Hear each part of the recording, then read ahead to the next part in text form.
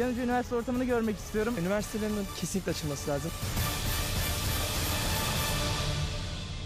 Kimi henüz hiç kampüs görmedi, Nasıl alışacak mıyım onu bilmiyorum. kimi arkadaşlarıyla vedalaşamadan mezun oldu. Üniversiteye açılmasını isteyen insanlar da genellikle evde sıkılan insanlar. Pandemi nedeniyle geçtiğimiz yılı uzaktan eğitimle geçiren yüksek öğretimliler için geri sayım başladı. Yüz yüze eğitim için bir adım daha atıldı. Öğrenci yurtları yeni döneme hazırlanıyor. Süreç 15 Mart 2020'de Umre'den gelenlerin kalmasıyla başlamıştı. Kredi Yurtlar Kurumu Genel Müdürlüğü tüm Türkiye'de valiliklere yazı gönderdi. Sürecin tamamlanmasını istedi. Son tarihi 31 Temmuz. Yurtlarımız karantina sürecinin en önemli parçalarından biriydi. Öğrencilerimizden ayrı kaldık. Onları çok özledik. Valiliklere gönderilen genelgede pandeminin başından beri izolasyon amacıyla kullanılan yurtların öğrenci hizmetine hazır hale getirilebilmesi için talimat verildi. Bugüne kadar 143.289 kişinin karantinada kaldığı yurtlarda hummalı hazırlık başladı. Burası bir öğrenci yurdu ancak bu yurtlar bir süredir öğrencilerden uzaktalardı. Çünkü pandemide okullar kapalıydı, yurtlarsa pandemi koşullarına uymayanların karantinada kaldığı noktalardı. Ve artık öğrencilerle buluşmaya hazırlanıyor yurtlar ve hummalı bir çalışma var. 13 Eylül'de açılması planlanan üniversitelerle birlikte yurtlarda artık asıl sahiplerine kavuşacaklar. İlaçlama, dezenfeksiyon, temizlik, badana, malzeme yenilemesi gibi her türlü işlemi de titizlikle yürüttük. Şimdi artık onların yeni öğretim yıllarını huzurla rahatça geçirebilmeleri için onları bekliyoruz. Üniversite öğrencileri için aşılamanın 13 Eylül'e kadar tamamlanması planlanıyor. Yurtlarda kalacak öğrencilere aşı şartı getirilmesi de gündemde. Yalnız üniversitelerde değil, okullarda da yüz yüze eğitim için hazırlıklara hız verildi. Okulları açmak noktasında çok kararlıyız.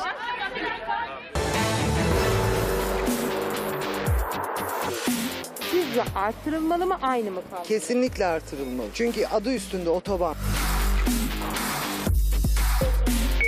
Kalsın artmamalı. Sürat felaket. Kimi artsın dedi, kimi aynı kalmasından yana kullandı tercihini. Otoyollardaki trafik hız sınırının artacağının sinyalini İçişleri Bakanı Süleyman Soylu vermişti. Sürat kilometremiz 120'dir. Bir miktar arttırma konusunda otomobiller için böyle bir yetkimiz var. Otoyollardaki hız limiti şu an 120 kilometre ancak bu tabelaların değişmesi bekleniyor. Çünkü otoyollardaki hız sınırının 140 kilometre olması gündemde. Artmamalı. Böyle daha güzel. Neden? Yani e, ne kadar çok sürat o kadar kaza. Artmalı. Arabalar markaları değişti. Daha basmadan yüze çıkıyor zaten. Yani düzenleme hayata geçerse radarlar hız sınırı aşımını saatte 140 kilometre üzerinden hesaplayacak. %10 tolerans hakkı ise korunacak. Bence 140'ın çok olduğunu düşünüyorum. Genelde tabii burada insanlar pek kurallara da uymadığı için. Bence artırılmalı. Araçların artık beygir gücü daha fazla. E, yol bitmiyor. Otoban. Yeni uygulamada sürücülerin yapabileceği maksimum hız yola ve araç cinsine göre değişecek. Mevcut uygulamada minimum ceza 314 lira iken maksimum ceza tutarı 1340 lira. Yeni düzenlemeyle hız limiti aşımında sürücüler şu anki cezalardan daha fazla cezayla karşı karşıya kalabilirler. Ben 140'la hiç gitmiyorum. 200 falan gidiyorum. Peki hiç ceza yediniz mi yakalandınız mı? Bir kez Arabası kötü adam o da gidiyor 140 ile 120. Halbuki o adam 70 ile 80'le gitmesi lazım. Artacak mecburen. Benim altımdaki araba 160'da gidiyor. Öbür adam 320 ile gidiyor. Ya ona göre ceza artırılmalı. Yeni düzenleme için İçişleri ve Ulaştırma Bakanlıkları ortak çalışıyor. Personel ilişki yaşayan yönetici mi dersin? E, mal alan yerlerden komisyon alıp da beni midyecilere dövdürmekle tehdit eden yönetici mi dersin? Bunlar benim işten çıkartılmam için 29 kodla el kaldıracaklar ve ben işimden olacağım. Öyle mi Ömer Günel? Belediye şirketindeki usulsüzlükleri ortaya çıkarınca hedef haline geldi. Tepkisini 10 kuruşluk tazminat davasıyla ortaya koydu. Bunu ben onur meselesi yaptım. Çünkü ben şirketin menfaatini korurken ahlaksızlık yapmadım. Fuat Özen Kuşadası Belediyesi'nin şirketinde yöneticilik yapıyordu. İddiaya göre şirkette bazı yanlışlar gördü. Onları belediye başkanına mesajla iletti, bilgilendirdi kendisini. Ancak hiç beklemediği bir şekilde işinden oldu. Ahlaksızlığı ve terbiyesizliği yapan yöneticinin e, hiçbir şeyini görmeyip beni 29. maddeden yani ahlaksızlık suçundan görevden attırdı belediye başkanı. Ben bunu hazmedemedim. Parti yönetimine ulaşmaya çalıştı ama kapılar yüzüne kapandı. Özgür Özel, Engin Altay'ınkini herhalde çıkartmamışım. Ona gönderdim. Ali Mahir Başarır'a gönderdim. Ya biriniz de dönün. Hiçbirisi dönmedi. Cumhuriyet Halk Partisi'nin halk kısmı partinin isminde kalmasın. Yaptığın şeyin adı hainlik. Ben hainlik yapmadım. Belediye başkanının bu mesajı bardağa taşıran son damla oldu. Haksız yere işten atılan Özen CHP üyeliğinden de istifa etti. Fuat Özen yaşadığı olay sonrasında soluğu mahkemede aldı ve Kuşadası Belediye Başkanı Ömer Günel hakkında 10 kuruşluk manevi tazminat davası açtı. Gerekirse buradan sonuç alamazsam Avrupa İnsan Hakları Mahkemesi'ne kadar gideceğim. Çünkü güçlü her zaman haklı değildir. Haklı daima haklıdır. Emekli çalışanların diğer çalışanlardan özlük hakları bakımından hiçbir farkının olmadığını söylemiştim. Dolayısıyla tazminat hesapları da aynı şekilde hesaplanıyor. Yani çalıştıkları süre kadar e, son brüt maaşıyla çarpılıyor. Yani diyelim ki 8 yıl ça- çalıştı, son brüt maaşıyla 8 çarpılıyor ama 8 yıl 3 ay 5 gün çalıştı. Dolayısıyla her günde son brüt maaştan hesaplanıp kıdem tazminatı ortaya çıkıyor. Ve yine en çok merak edilen sorulardan biri çalışan emeklilerin emekli maaşları artar mı ve çalıştıkları için ikinci emekliliğe hakları var mı? Şimdi emekli olduktan sonra çalışırken ödenen primler emeklilikle ilgili primler değil.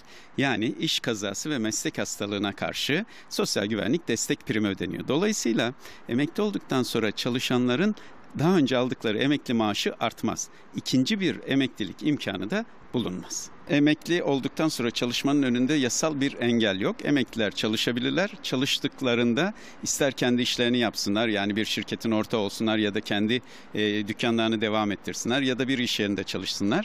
Maaşlarında herhangi bir kesinti olmaz. Ve ihbar tazminatı. Çalışan emekliler ihbar tazminatından faydalanabilirler mi? Emekli olduktan sonra çalışanlar nasıl kıdem tazminatı alabiliyorlarsa eğer haksız yere işten çıkartılmışlarsa ve ihbar sürelerine uyulmamışsa onlara ihbar tazminatı da ödenir. Şimdiki sorumuz yine emekli öğretmenlerle ilgili. Emekli olup aynı zamanda ücretli ders veren öğretmenlerin maaşlarında herhangi bir kesinti olur mu? Şöyle emekli olduktan sonra çalışmanın önünde engel yok dedik ya. Eğer devlet memuru emekli olduktan sonra tekrar devlet memuru olursa maaşı kesiliyor. Ya da SSK'lı bir emekli devlet memuru olursa yine maaşı kesiliyor. Yani emekli maaşı kesiliyor. Ama sizin söylediğiniz gibi devlet memurundan emekli olmuş emekli sandığından ama memur olmadan yani kadroya geçmeden öğretmenlik yapıyorsa herhangi bir özel okulda ya da devlet okulunda ücretli öğretmenlik yapıyorsa emekli maaşı kesilmez. Çalışan emekliler tazminat alabiliyorlar mı? Tazminat hakları var mı? Emekliler çalışırken diğer çalışanlardan özlük hakları bakımından hiçbir fark olmuyor. Yani yıllık izin, tazminat gibi hakları aynen uygulanıyor. Dolayısıyla emekli bir çalışan da kıdem tazminatı alma alacak şekilde işten ayrılırsa yani kendi istek ve kusuru dışında işten çıkartılırsa çalıştığı yıl kadar kıdem tazminatını alabilir. Burada şöyle bir durum var. Emekli çalışanlar çift tazminat alma hakları var. O da şöyle. Emekli olmadan önce çalıştıkları yerden emeklilik için ayrılırlarsa zaten bir tazminat alacaklar. Sonra çalışmaya başlarlarsa yine çalıştıkları yerden ikinci tazminatlarını da alabilirler. Vatandaş da Yarım saatten beri bekliyoruz vallahi abi. turistler de İstanbul'daki bazı taksicilerden şikayetçi. Money is too much. Konu kısa mesafe ama mesele uzun yıllara dayanıyor. Şimdi iki dakika döneceğiz gideceğiz işte be abi. Taksicilerin yolcunun gideceği yeri beğenmemesi, müşteri seçmesi ve sürekli aynı bahaneleri tekrarlaması herkesin ortak sorunu. Üstüne bir de fahiş fiyat uygulaması var ki turistler en çok bundan yaka silkiyor. Kısa mesafe oldu mu almıyorlar. İstanbullular ve yabancı turistler son zamanlarda taksiye binemez hale geldi. Çünkü iddiaya göre birçok taksici kısa mesafe götürmüyorlar. Götürenlerse taksimetreyi açmıyorlar ve özellikle yabancı turistlerden fahiş fiyat talep ediyorlar. Neden bulamıyorsunuz taksi? Short distance. Kısa mesafe yapmıyorlar abi. Özellikle turistleri alıyorlar. Neden sizce? Turistlerden daha fazla para aldıkları için. Because it uh, didn't take uh, the taxi taximeter Where are going? to Grand Bazaar. Short distance he want 100 lira. Şimdi ben de kısa mesafe gitmeye çalışacağım. Bakalım beni alacaklar mı? Bu tarafa. Cihangir'e. Aşağısı Cihangir. Ya öldük. Şimdi iki dakika döneceğiz gideceğiz işte be abi. Karşıdan geçen arabaya gir. Aşağısı ciğer Yolcu mu var? Nasıl yolcum var abi? Bazı taksicilerin en bilindik bahanesi de bu. Nasıl? Yolcu bekliyorsun. Nasıl? Müsait değilsin. Neden? ATV Haber kamerası kayıtta. Görüntüdeki kişi ise Belçikalı bir turist. Bir turist daha şu an taksicinin yanında. Where are you going? To the beach. Kilios? To the beach, Kilios. Yeah. What did he say? 250 lira. It's very expensive. Belçikalı turist Sanas Taksim'den Sarıyer'e gidecekti ve ondan tam 250 lira istemişler. Taksim'den Kilyos ne kadar? 150 falandır herhalde tam bilmiyorum da. Ee, az önce Belçikalı bir turiste rastladık. 250 lira istenmiş kendisinden. Ne söylersiniz? Fazladır yani.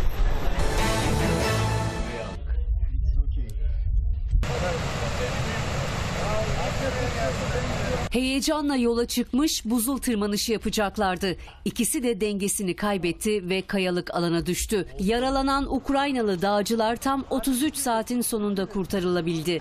They fall down uh. 35 yaşındaki Marina Şavkutina ve 45 yaşındaki Mikola Sinkevik 8 kişilik dağcı grubuyla Rize'deki Kaçkar Dağları'na buzul tırmanışı için harekete geçti. Her şey yolunda gidiyordu. Ancak iki Ukraynalı dağcı buzul altı bölgesinde dengesini kaybederek kayalık alana düştü. Dağcılar yamaçtan kopan taşlarla yaralandı. Girl, 35 years old, has a leg injury, uh, uh, ankle twisted, and uh, man has a, a hand uh, injury. Bulundukları noktada telefon da çekmiyordu. Yaralı dağcılar yardım istemek için dönüşe geçti ve ikili yaylaya kadar ilerlemeyi başardı. Ardından da acil yardım çağrısında bulundu. It's a very dangerous area because uh, uh, there are a lot of rocks which are falling and they fall very fast and they can hit you. Kurtarma ekipleri o dakikadan itibaren dört koldan seferber oldu. Ancak hava sisli olduğundan helikopter havalanamıyordu. Ekipler zorlu ve uzun bir yürüyüşün ardından gece saatlerinde yaralılara ulaştı. Dağcılar 33 saatin ardından sağ salim kurtarıldı. Arkadaşlar taşa gel. Acele yok. Ukraynalı dağcılar yaklaşık 5 saat boyunca sedyeyle taşındı. Hastaneye kaldırılan yaralıların sağlık durumu iyi.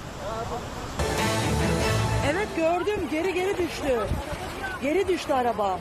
Fren yerine gaza bastı, rıhtımdan denize uçtu. Şoför suya gömülen aracın camından son anda çıkarak hayata tutundu. Kayarak düşmedi bir anda tam gazla geri düştü yani. O korku dolu dakikalar Sarıyer Büyük Liman'da yaşandı. Buradan böyle geliyordu. Herhalde dönmeye çalışacaktı abi. Kıyı emniyetine ait rıhtımdan çıkmak isteyen sürücü yaptığı yanlış manevrayla aracıyla birlikte bir anda denize uçtu. Aracın kafasını plaja doğru döndürdü. Bir anda da geriye takınca karıştırdı. Geri geri denize uçtu. Üstelik o anlarda onlarca kişi de denizdeydi. Facianın yaşanması an meselesiydi. Evet gördüm geri geri düştü. Geri düştü araba. Geri geri gidin derken düştü. Aracın Evet, denize gördüm, uçtuğunu geri geri görenler düştü. dört koldan seferber Geri oldu. araba. Herkes koştu ona doğru. Biz de koştuk. Neyse ki denize düşen sürücü aynı zamanda dalgıçtı. Kendini suya gömülen aracın açık camından dışarı atmayı başardı. Yüzerek rıhtımın demir merdivenlerine çıktı. Allah'a şükür ki biz gittiğimizde kıyı emniyetin merdivenlerinden çıkabilmişti. Ekiplerse batan otomobili denizden çıkarabilmek için uzun süre ter döktü.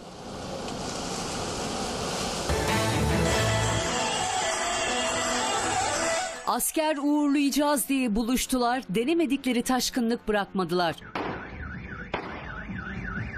Tüneli kapattıkları yetmezmiş gibi üstüne bir de başkalarının hayatını tehlikeye attılar.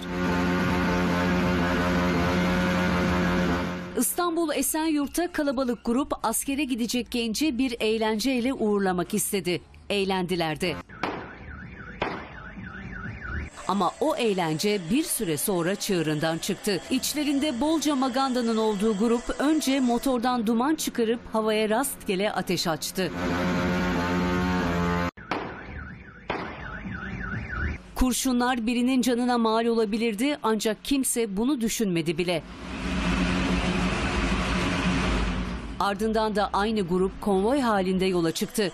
Kontrolsüz eğlence tünelin kapatılmasıyla başlayan halayla devam etti. Sürücüleri çileden çıkaran magandalar daha sonra dağıldı. Benzer görüntü Gazi Osman Paşa'da da kaydedildi. Ama bu kez o eğlence kazayla son buldu. Asker uğurlaması için oluşan konvoy kornaya basa basa ilerliyordu. O konvoyun içindeki bir sürücü de panelvanla hız sınırını aştı, kontrolden çıkıp refüje çarptı. Araçta hasar büyük, içindekilerse hafif yaralıydı.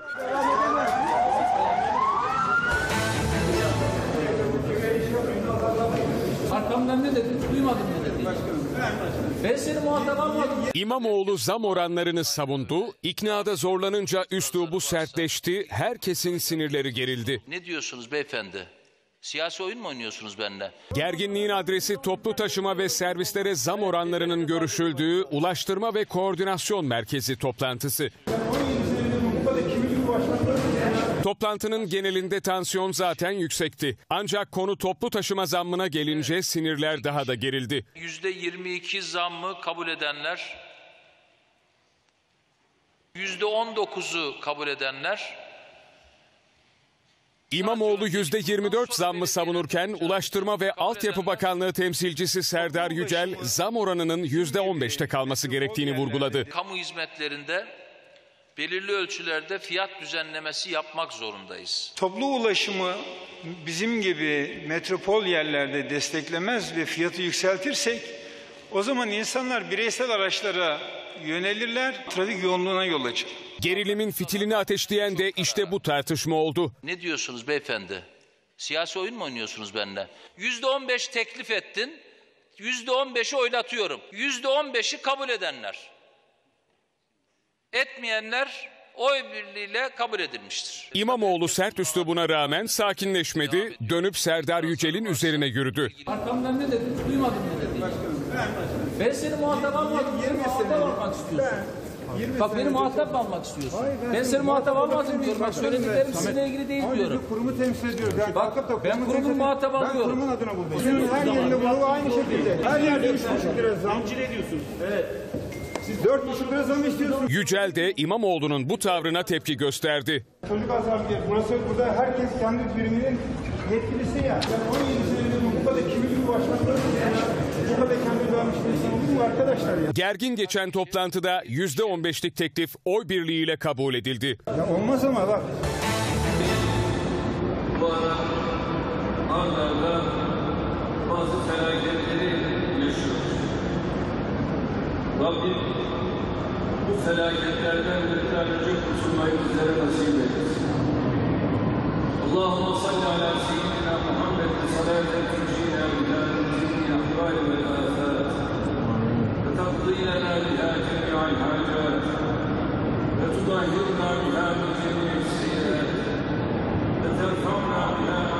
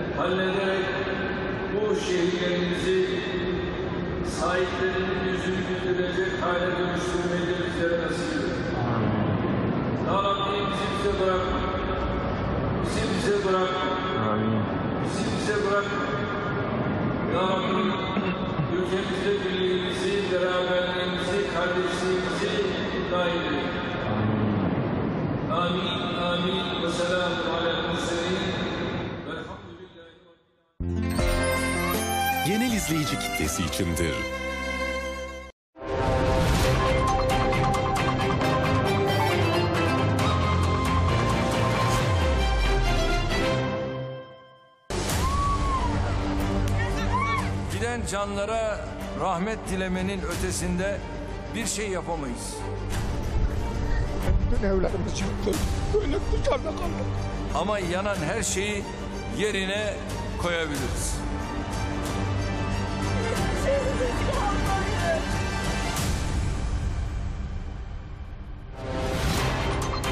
Haberin merkezinden, ATV Haber Merkezi'nden günün gelişmeleriyle karşınızdayız. Bugün 31 Temmuz Cumartesi. Cumhurbaşkanı Recep Tayyip Erdoğan, afet bölgesi ilan edilen noktadan yaptı bu konuşmayı.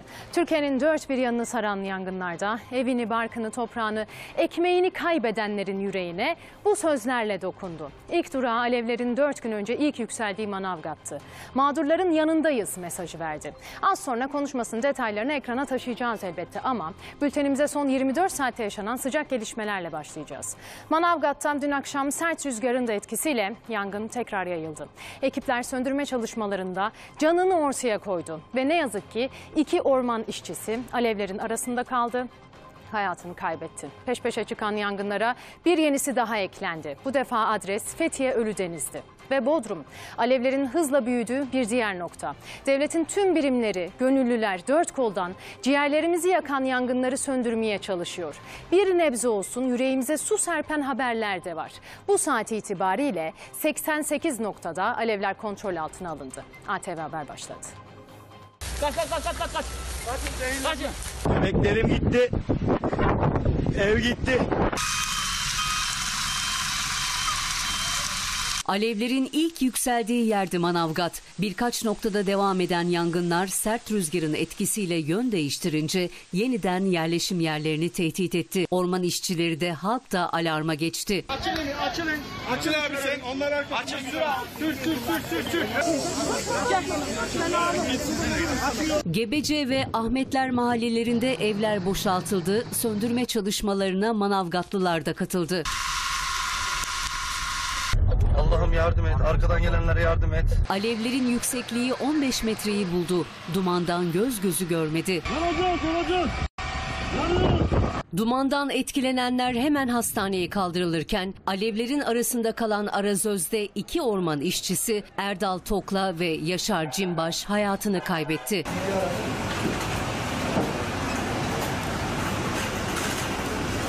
Aynı saatlerde Fethiye Ölüdeniz'de de 3 ayrı noktada yangın çıktı. İddiaya göre molotof kokteylleri atılmıştı.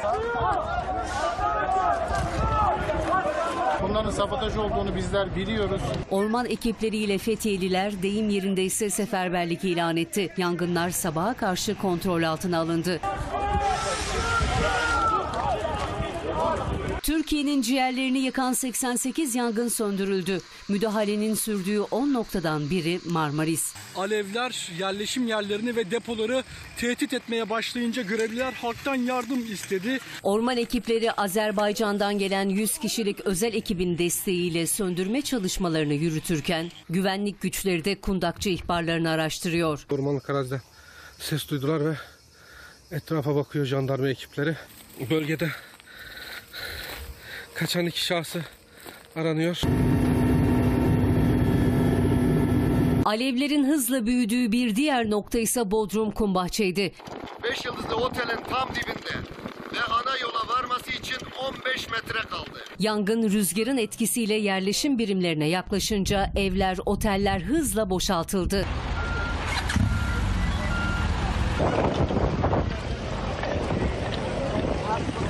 Tahliye işlemi bazı otellerde denizden yapıldı.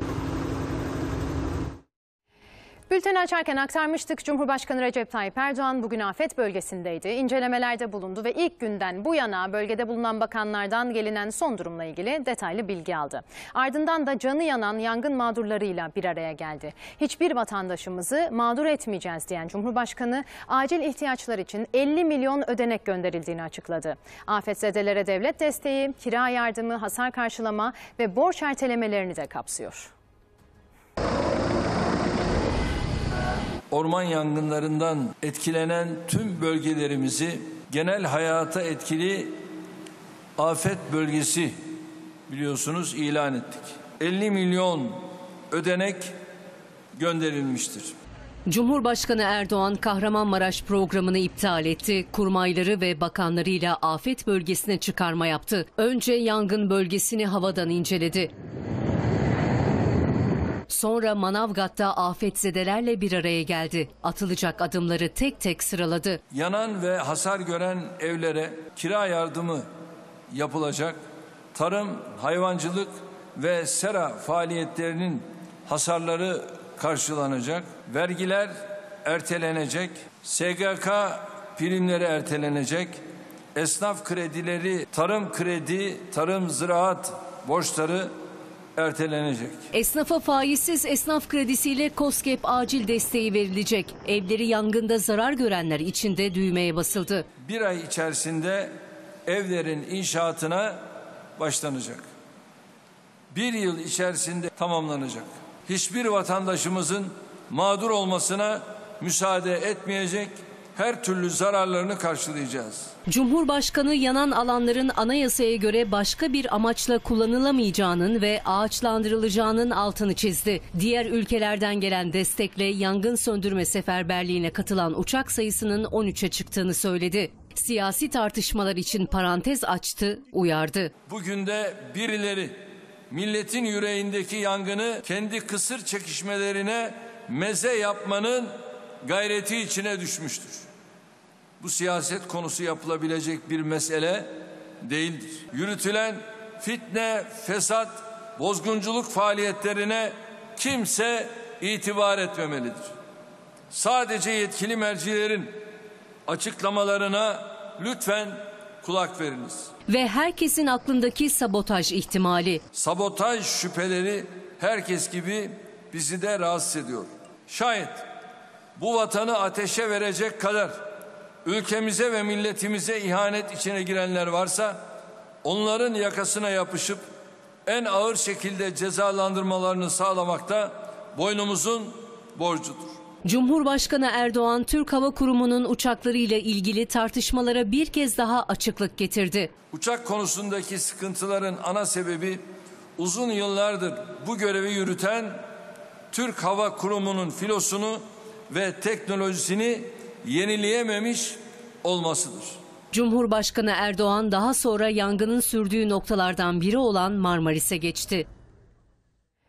Peş peşe çıkan yangınlarda devletin tüm birimleri, tüm imkanlarıyla ilk günden bu yana seferber olmuşken Cumhuriyet Halk Partisi Genel Başkanı Kemal Kılıçdaroğlu'nun başlattığı tartışmanın adı Türk Hava Kurumu uçakları. Kılıçdaroğlu yangın söndürmede kullanılamayacak durumdaki uçakların ısrarla neden devrede olmadığını soruyor.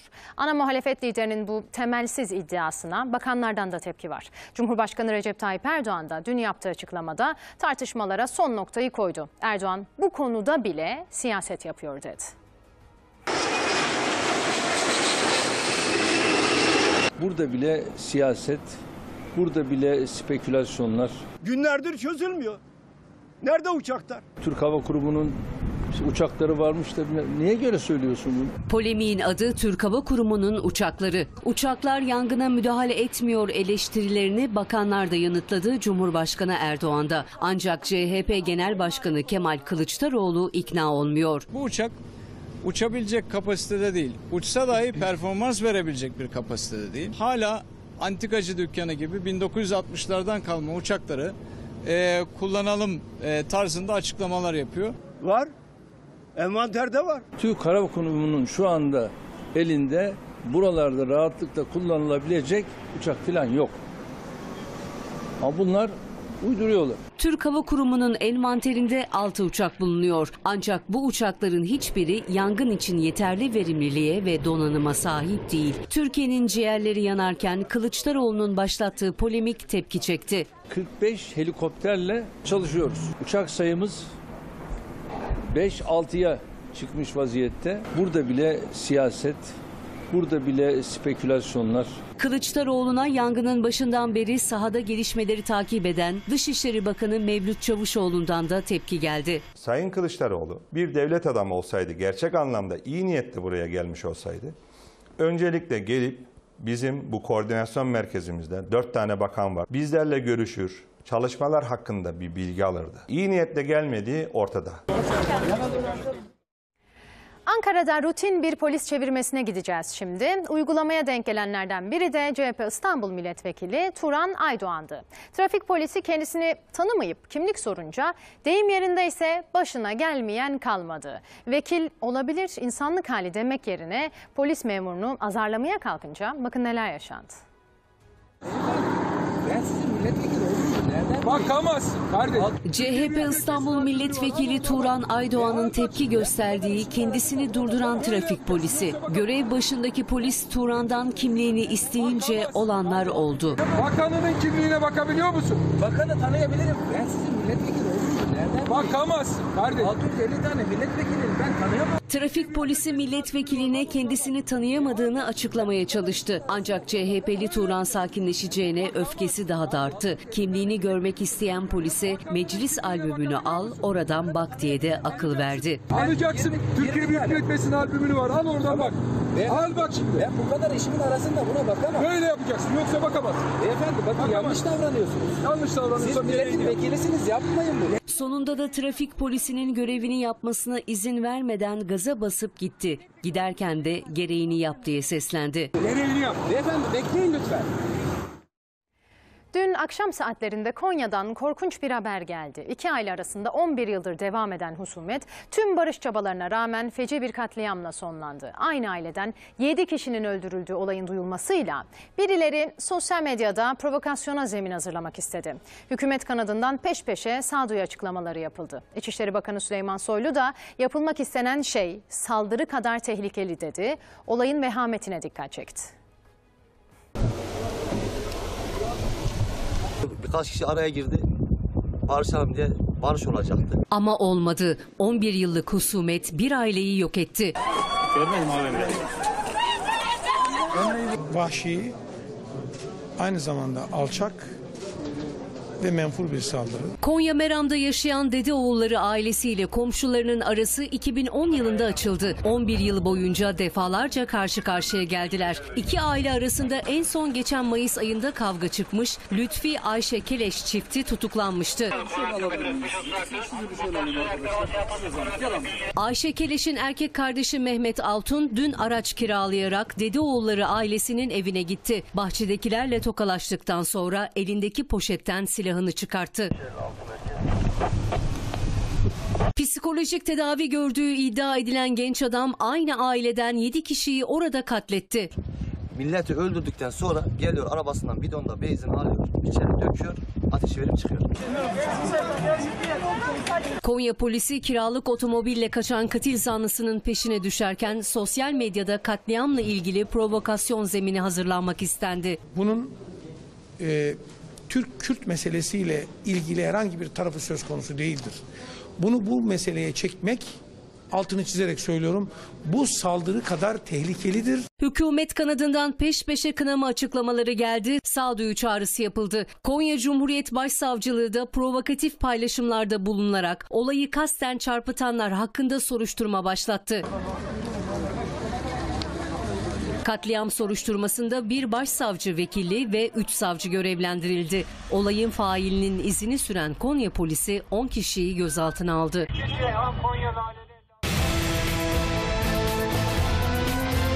Sosyal medya işleri için anlaştığı kişi adına ahlaksız ilanlar açtı.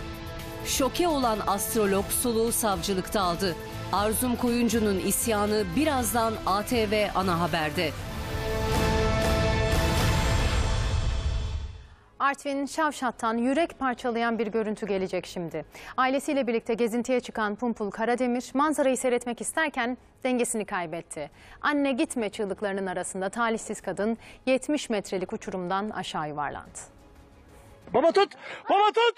Tut tut! Baba tut! Ay anne gitme.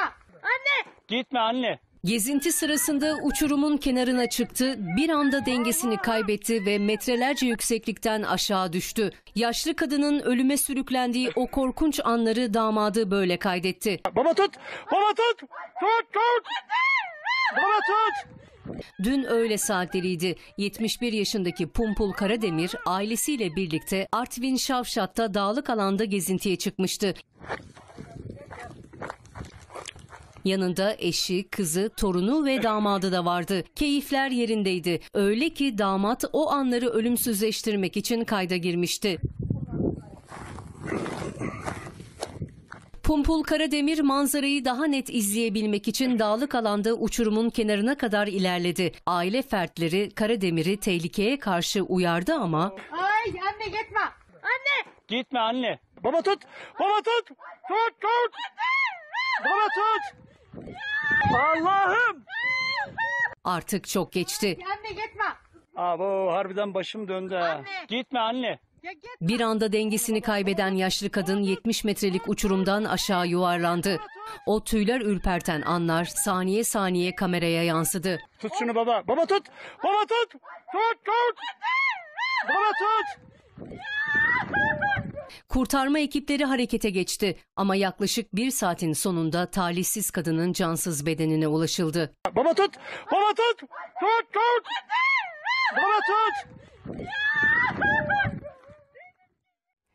Hırsızlar artık o kadar cesur ki İstanbul'un göbeğinde olmaları bile onları durdurmaya yetmiyor. Hedeflerine ulaşmaya çalışırken kalabalıktan bir nebze olsun çekinmiyorlar. Şişli'de trafik ışıklarında bebeğiyle bekleyen bir anne de kendisine kurulan tuzağı çok geç fark etti. Pervasız hırsızlar suçüstü yakalanmalarına rağmen kaçmak için her şeyi denedi. Etrafını sardılar, cüzdanını çaldılar. Fark edilince de bırakıp kaçmak yerine cüzdana daha çok asıldılar. Gaspçılar bebekli kadına sokak ortasında hayatının şokunu yaşattılar. Burası Şişli Meydanı'ndaki trafik ışıkları yani İstanbul'un göbeği. Kaldırımdaki kalabalık yayalara yanacak yeşil ışığı bekliyordu. Bebek arabalı kadınsa kendisine kurulan tuzaktan bir haberdi. Yan kesicilerden biri arkasına geçti, kaşla göz arasında çantasından cüzdanını çaldı.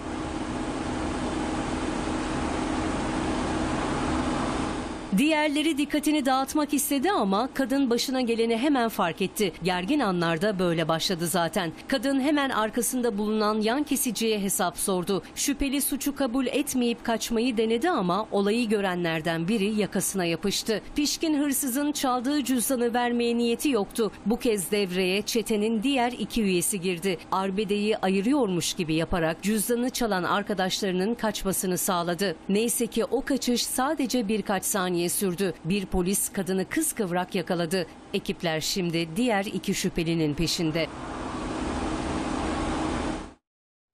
Manken Gizem Akbaş eski sevgisi tarafından aylarca tehdit edilmiş, 16 Temmuz'da da sokak ortasında uğradığı saldırıda ölümün eşiğinden dönmüştü. Görüntülere rağmen mahkeme 9 gün tutuklu kalan zanlıyı jet bir kararla tahliye etti. İşte o dehşet anları ve tepki çeken kararın gerekçesi. İlk olarak yüzüme yumruk attı görmedim zaten. Ağzım burnum kan içinde kaldı. Genç mankeni ölümüne darp etmiş, sokak ortasında dehşeti yaşatmıştı. Vurma yapma dediğim halde öldüreceğim seni. İşte bittin sen diye beni yerlerde sürüklemeye başladı. Genç kadına kabusu yaşatan o saldırgan serbest kaldı. Manken Gizem Akbaş iddiaya göre 6 ay önce sevgilisi Mücahit Ayta ile ayrıldı. Ayrılığı kabullenemiyor eski erkek arkadaşım. Yani defalarca bu korkuyla beni tehdit etti zaten. Öldüreceğim seni, benden ayrılamazsın, beni bırakamazsın. Seni başkasıyla görürsem bitiririm. Ayrılık kararıyla başlayan o tehdit ve tacizlerin sonuncusuysa 16 Temmuz'da Beşiktaş'ta yaşandı. Ayta Gizem Akbaş'ın bir eğlence mekanında olduğunu öğrenip soluğu orada aldı. Ben zaten bir baygınlık geçirdim. Daha sonrasında tekrardan e, dövmeye devam etti. Sonrasını sonrasını çok hatırlamıyorum zaten. Dövdüğü zaman gözündeki o donukluğu gördüm. Ölümüne darp edilen 27 yaşındaki Gizem Akbaş'ın şikayetiyle saldırgan 22 Temmuz'da tutuklandı. Beni öldürmek istiyor çünkü ölmemi istiyor. Ya benimle olacaksın ya da öleceksin diyor. 6 yıla kadar hapsi istenen Ayta hakkında 9 gün tutuklu kalmasının ardından tahliye kararı verildi. Tepki çeken jet kararın gerekçesi ise genç mankenin basit tıbbi müdahaleyle giderilebilecek ölçüde yaralandığı görüşü ve talep edilen cezanın bir yıla kadar olmasıydı. Bana bu şekilde zarar verdi. Gerçekten tutuklanmasını istiyorum. Ünlü astrolog ve yaşam koçu Arzum Koyuncu bir süre önce sosyal medya işlerini yürütmesi için biriyle anlaştı. O kişi Koyuncu'ya kendisini Amerika'da ünlü bir editör olarak tanıtmıştı. Ama o günden itibaren ünlü astroloğun hayatı adeta kabusa döndü. Çünkü iddia o ki o bir sahtekardı ve ünlü astroloğu hem dolandırdı hem de fotoğraflarını ahlaksız sitelerde paylaştı. Virüs gönderiliyor.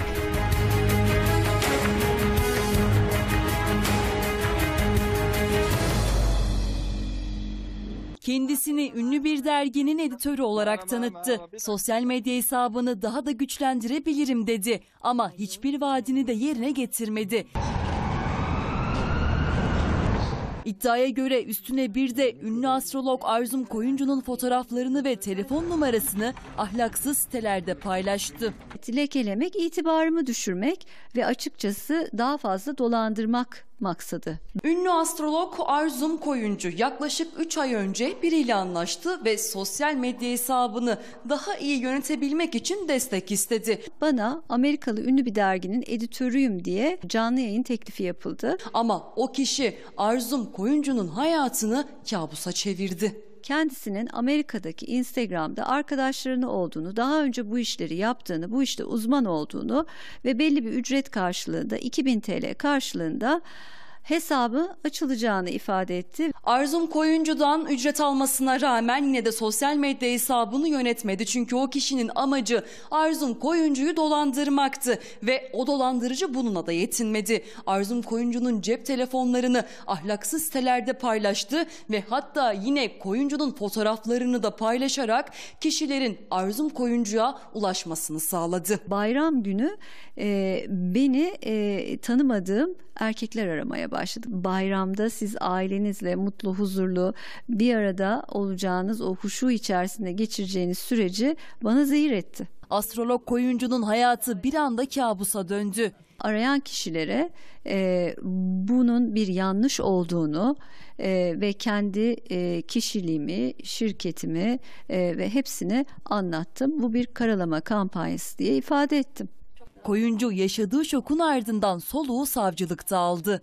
Evet uzaklaştırma kararı aldırttım ki hani kişi artık herhangi bir şekilde sosyal ne sosyal medyada e, ne de hani e, bana e, karşı e, bir durum yapmasın diye.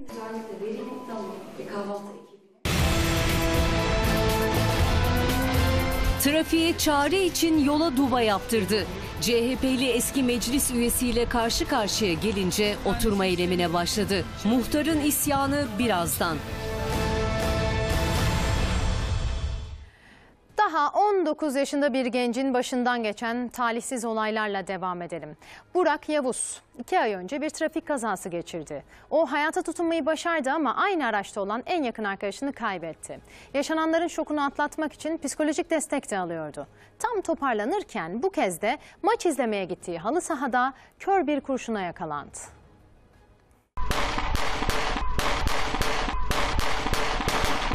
Her şey bir anda oldu. Halı sahada maç izlerken bacağından vuruldu. Konvoy halinde birkaç tane araba geçti. Havaya sayısız şekilde ateş açıldı. Yani çok kısa bir süre sonra bacağımda bir çok yoğun bir şekilde ağrı, uyuşma, bir karıncalanma hissettim. 19 yaşındaki Burak Yavuz 2 ay önce de ölümden dönmüştü. 19 yaşındaki Burak Yavuz 2 ay önce trafik kazası geçirdi. En yakın arkadaşını kaybetti. Sol bacağında çok sayıda kırık oluştu. Platin takıldı. 2 ay sonra aynı bacağından sol bacağından vuruldu ve mermi o anda içeride kaldı. Burak şimdi iyi ama yaşadıkları onu hayli sarstı. Halı sahada maç izlerken vurulan genç yaşadığı dehşeti ATV Haber'e anlattı. O an zaten hani baktım girmiş kurşunların bir tanesi bacağıma girmişti. O anda ne hissettin? Vurulmuştun. Yani vuruldum yani açıkçası nasıl olduğunu bir nasıl olduğunu anlamadım. Hani şaşkın haldeydim. Bir an hani onun acısı zaten var. Talihsiz genç hemen hastaneye kaldırıldı. Durumu iyi ama o hala başına gelenlere inanmakta zorlanıyor. Şok oldum. Korktum. Ee, nasıl söylenir hani bilmiyorum çünkü psikolojim aşırı şekilde bozuk. Avrupa'da hayatı normalleştirmek için kullanılan aşı pasaportu uygulaması tepkileri de beraberinde getiriyor. İtalyanlar için uygulama 6 Ağustos'ta başlıyor. Muhalif vekiller ise seslerini duyurabilmek için bu kez mecliste eylemdeydi. Colleghi deputati.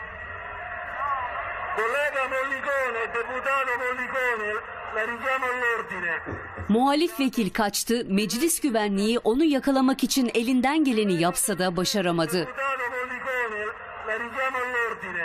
İtalyanlar 6 Ağustos'tan itibaren aşı pasaportu olmadan sosyalleşemeyecek. Aşı karşıtlarının da aralarında olduğu tepkiler sonunda sokaktan meclise de taşındı. Ana muhalefet partisi İtalya'nın kardeşleri milletvekilleri ellerinde pankartlarla bir anda meclise girdi.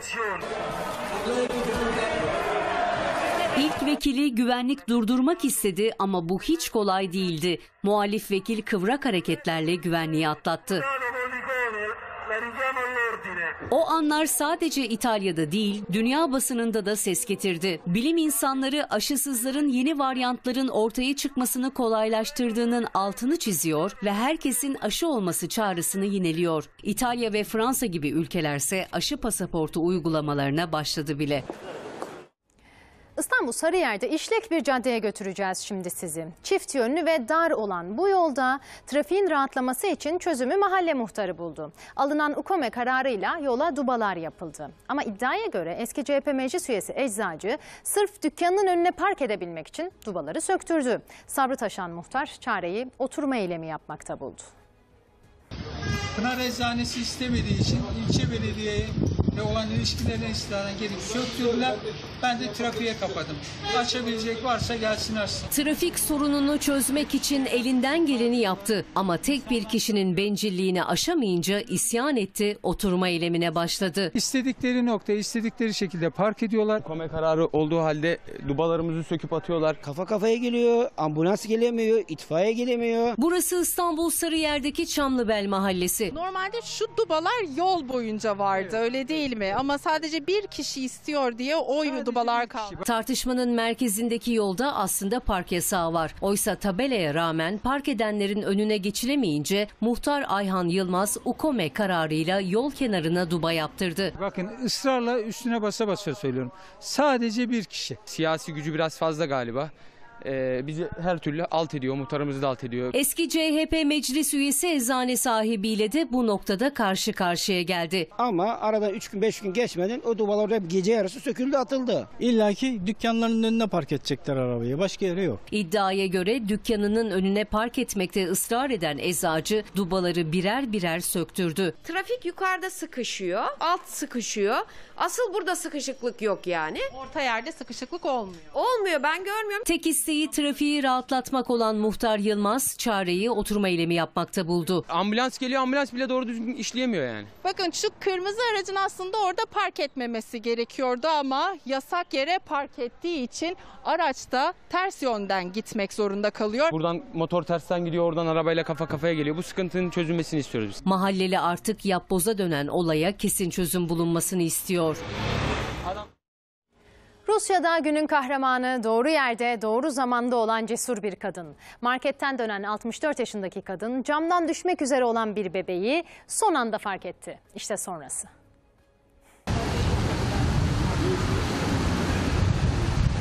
Poşetleri bıraktı, ikinci kattan düşen bebeği havada yakaladı. Я пока шла, я его заметила еще, пока шла по дороге. 64 yaşındaki Svetlana Saranova marketten dönerken ikinci katın camındaki bebeği gördü. Son anda gösterdiği refleksle bebeği yakalamayı başardı. Если я сейчас не поймаю, он у меня на глазах разобьется. Надо бежать ловить. Bebeği hemen ailesine teslim eden kadın Rusya'da günün kahramanı oldu. İstanbul'da Kınalıada Bostancı istikametinde yolculardan biri denize düştü. Epilepsi hastası adam suyun üzerinde hareketsiz kalınca yolcular onu kurtarmak için devreye girdi. Var var. Atla sen ben de atlayacağım. Çekil. Geç abi sen. Epilepsi nöbeti geçirdi, vapurdan denize düştü.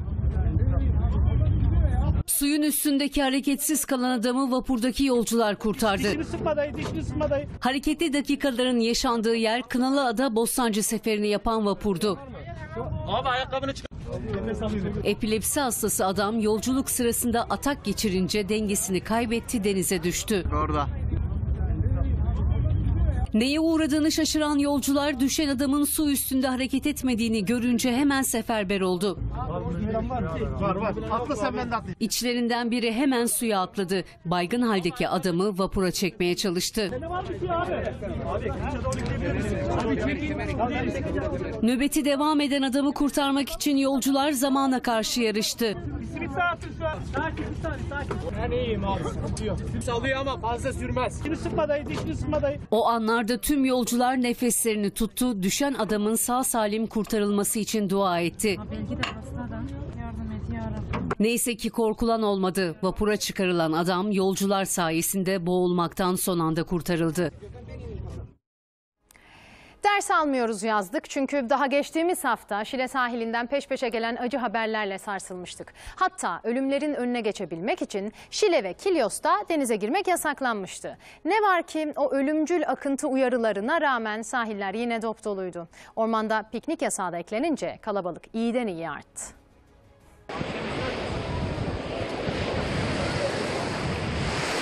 Serinlemek için geldik öyle bir. Haftasını böyle denize gelerek geçiriyoruz inşallah. Yaşanan orman yangınları sonrası piknikçiler sahillere akın etti. Zaten yazın piknik sevmiyoruz çok. Denize dedik kaçalım. Ormanda mangal yapmıyoruz. İyi oldu yani. Böyle ormanların kapanması yazık günah çünkü. Bir yerleri yakıyorlar. Gelirken de gördük jandarma devreye geziyordu yasak herhalde. Millet de tabii haliyle plajlara akın etti yani.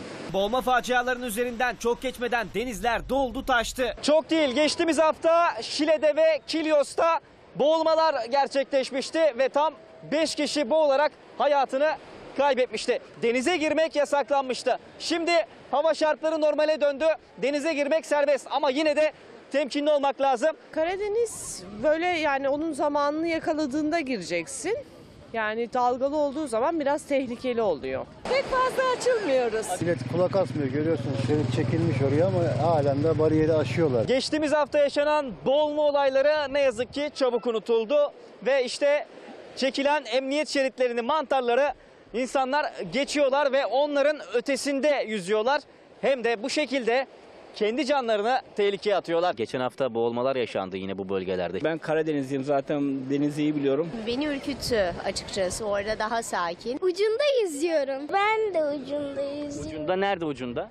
Şurası. Kıyıda. Mantarları geçiyor musunuz? Emniyet şeridi. Hayır. Hayır hayır. Tam ortalardayız. Akıntı alır abi dip akıntısı da var güvenmeyeceksin fazla kendine.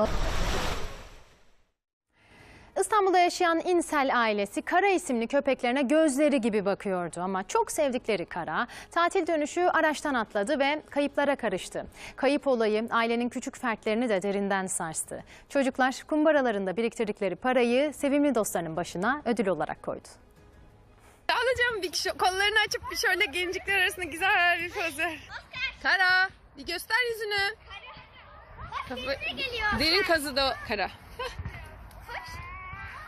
Kara bana bak. Ee, karaya e, çok alışmıştık. Ee, o çok güzel bir köpekti. O da bize alışmıştı.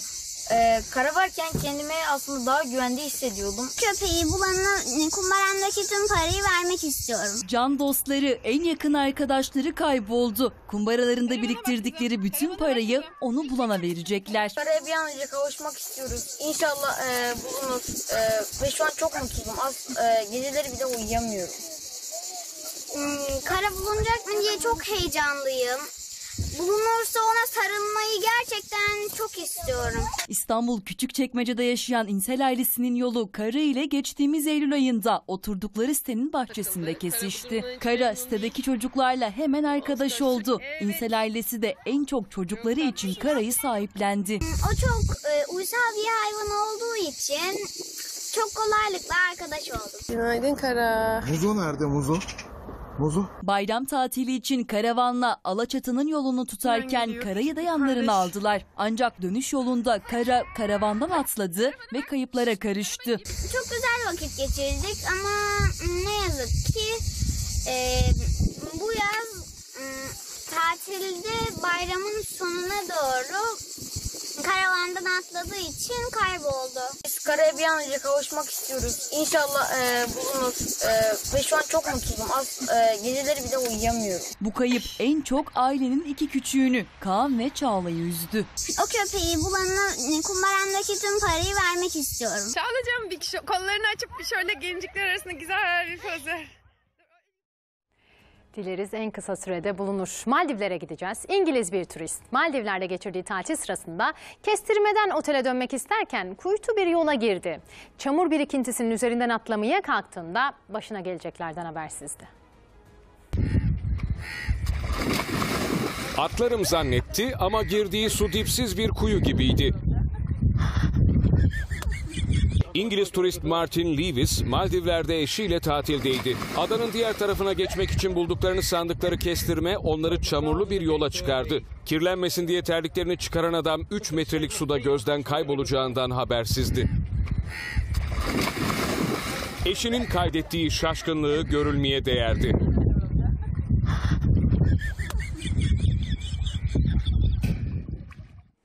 Ülkemizin akciğerlerinde peş peşe başlayan yangınlara karşı önlem olarak ormanlara giriş yasaklanmıştı hatırlayacaksınız. O yasaktan haberi olmayanlar bugün mesire yerlerine akın etti. Orman Bölge Müdürlüğü bu duruma bakın nasıl bir çözüm getirdi. Dikkat edelim. Mangal yak, yakmayalım. Çevremizdeki arkadaşlarımızı uyaralım.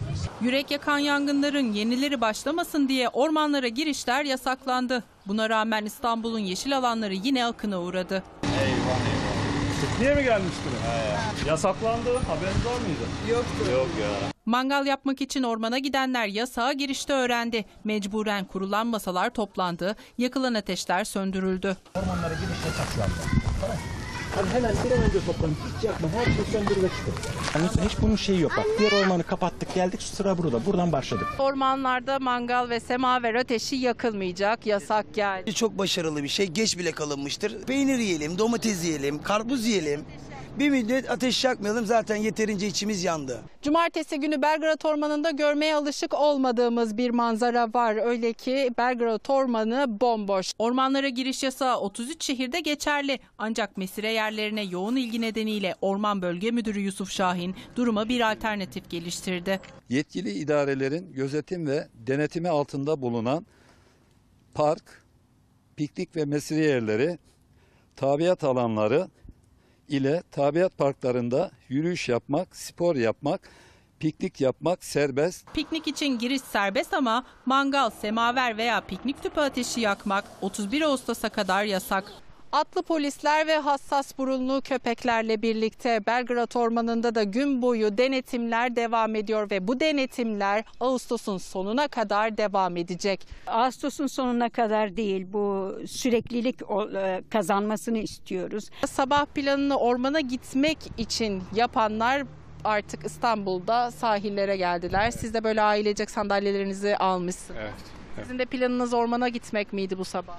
Belgrad ormanlarına diye sonra haberlerde tabii yasaklar çıkınca böyle sahil kenarına çocuklarla birlikte oltamızı da alıp geldik. Yasağa uymayanlar 1 yıldan 3 yıla kadar hapis cezası ve 427 lira adli para cezası ile karşı karşıya kalacak. Termometrelerin 40 dereceyi gördüğü, nemden bunaldığımız günleri yaşıyoruz. Ama hemen uyaralım, sıcaklıklar daha da artacak. Yani kavrulacağız.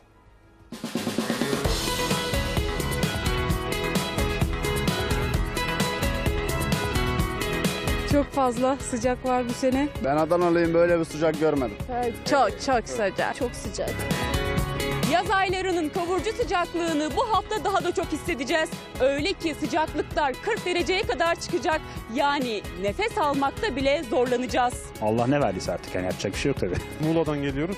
Sıcaktan kaçtık. Burası da sıcak. Daha da çok sıcak olacak. O zaman biz Muğla'ya kaçalım geri dönelim. Önümüzdeki günlerde hafta sonuna kadar tüm yurtta sıcakların biraz daha artarak mevsim normallerinin 8 derece kadar üzerine çıkacağını tahmin ediyoruz. Çok sıcak. Vapurumuzu bekliyoruz. Çok sıcak. Biraz gölge bir alana gelelim dedik. Sıcaklıklar insanları rahatsız edecek şekilde 40 dereceleri aşacak. Hava çok sıcak.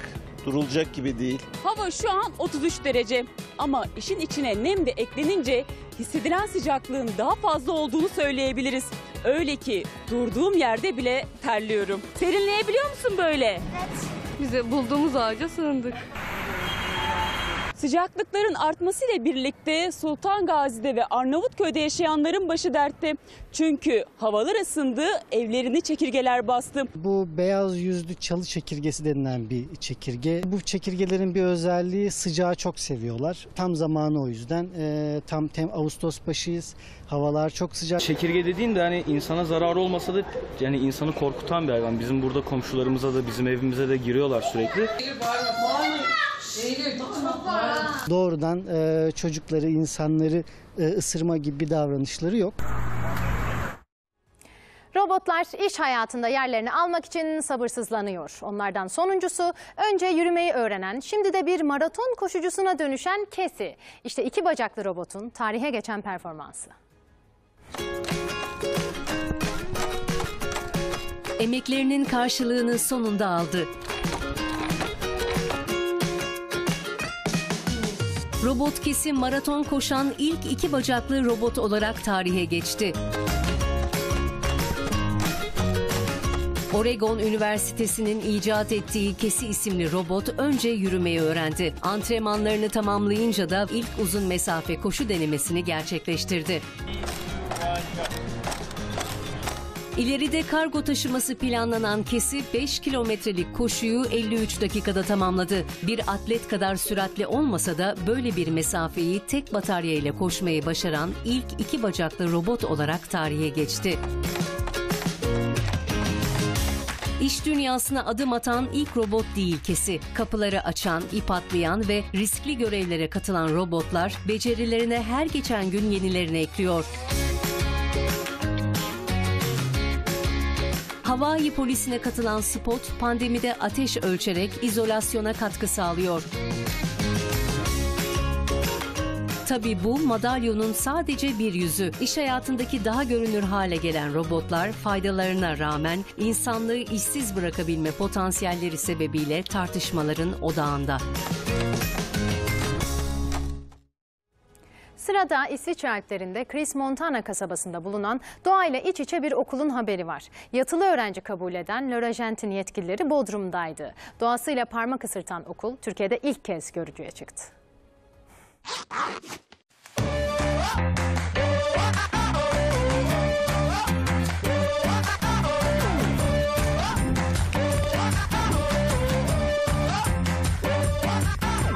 Okulumuz 2015 yılında eğitim hayatına başladık. 3-18 yaş e, arası eğitim veriyoruz.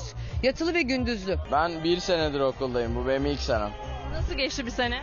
Yani çok güzel geçti tabii ki. Ee, çok mutluyum hani devam etmek için de sabırsızlanıyorum. İsviçre'nin gözde yatılı okulu Lorange, Türk öğrencileri ve aileleriyle buluşmak için Bodrum'daydı. Okul sıcak Ege akşamında görücüye çıktı. Türkiye çok önemli bizim için tabii ki. Çünkü okulumuzun zenginliğini daha da zenginleştirecek bu kültür. Bu yüzden çok önemli bizim için.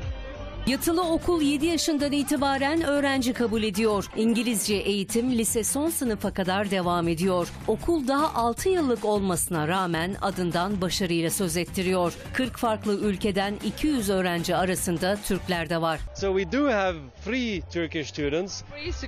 And we're looking to have more obviously. We love Turkish students. Okul dışındaki her yer bir sınıf aslında bizim için.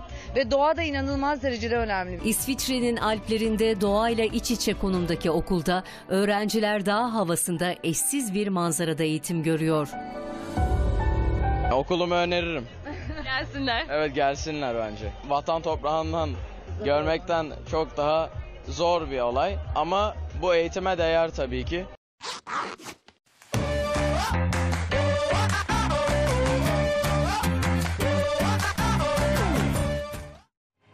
Tokyo Olimpiyatlarından göğsümüzü kabartan bir haberle devam edelim. Milli yokuşumuz Mete Gazoz hedefleri yine tam isabetle vurdu ve Türkiye'ye bu yılın ilk altın madalyasını kazandırdı. Cumhurbaşkanı Erdoğan da genç sporcumuzu hemen arayarak tebrik etti.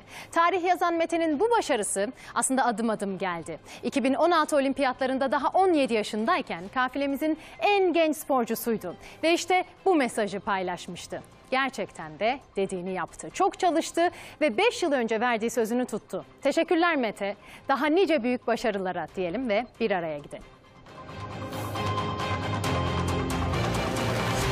Günün gelişmelerini anlattık. Haberin merkezinden, ATV Haber Merkezi'nden iyi akşamlar.